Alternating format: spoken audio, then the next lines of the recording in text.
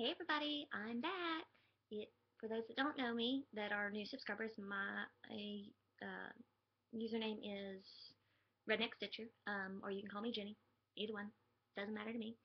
Um, for those that have been subscribed to me for a while, I deeply apologize for not having a new video out. Um, I am currently in a math class that is driving me up the walls.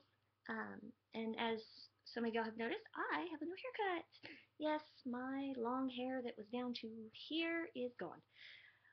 So I am all short now.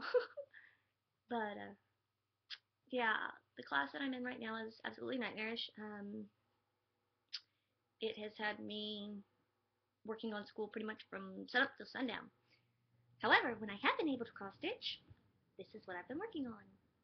Y'all have may have seen this one in some of my previous videos. This is pretty much all I have gotten done is this area right through here.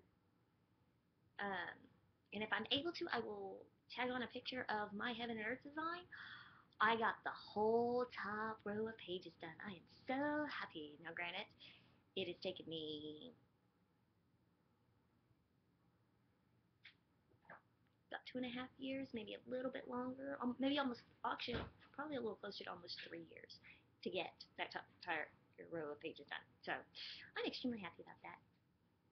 Um, I'm not going to do a real long update just because tomorrow begins what I have dubbed Hell Week for school. Um, homework, exam, pre-exam, supplements, yeah. Ton of stuff, short amount of time. um, on a positive note, only a year and a half left to go. Yay! So, uh, anywho, hopefully I'll be back on the Hangouts for those that have seen me on the Hangouts um, that Wonderfully Hopeless does. Uh, I know I have been absent from those too, and it kind of bums me out. But since today is Mother's Day, I want to send a absolute 100% huge shout out to all my subscribers who are mothers of little ones, big ones, you name it. And also a special shout out to mamas of fur babies. Because, yeah, they're mamas too.